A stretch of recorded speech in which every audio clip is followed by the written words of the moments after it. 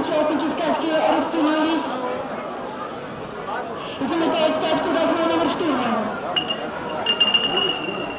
Скачку по-прежнему ведет первый